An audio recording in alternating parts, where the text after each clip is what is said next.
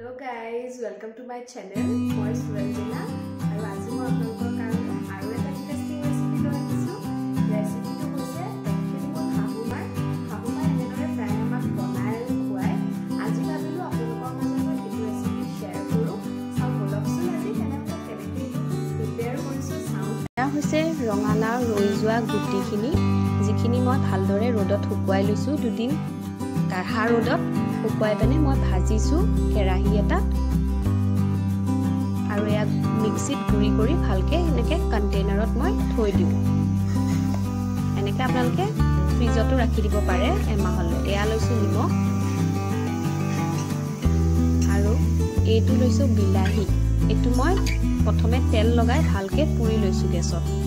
এয়া লৈছোঁ জলকীয়া। আপোনালোকে নিজৰ সোৱাদ অনুসৰি দিব পাৰে। লৈছোঁ মই এপিচ আদা। খিনি ভালদৰে বাকলি গুচাই সৰু সৰুকৈ কাটি লৈছোঁ। মিক্সাৰ গ্ৰাইণ্ডাৰত এনেকৈ গুড়িখিনি দি লৈছোঁ। বিলাহী কেপিচো দি দিলোঁ। জলকীয়াকেইটা দিছোঁ আৰু আদা পিচ দিছোঁ। আপোনালোকে নহৰু দিলে দিব পাৰে।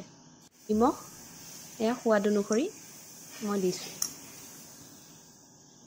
এইখিনি ভালদৰে মিক্সিত মিক্স কৰি ল'ম। আমাৰ এতিয়া ৰঙালাওৰ গুটিৰ চাটনিখিনি ৰেডি হৈ গ'ল। এতিয়া এই চাটনিখিনি ভাতৰ লগত অথবা ৰুটিৰ লগত ছাৰ্ভ কৰিব পাৰে।